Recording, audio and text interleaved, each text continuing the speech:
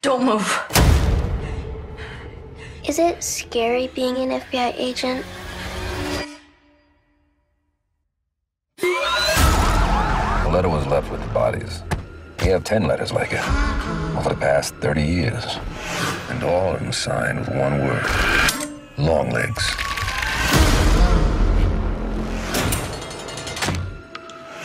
He'll kill. And kill again she is. You could have played nice with me, but you didn't. Put the gun down! And now that has led to all of this.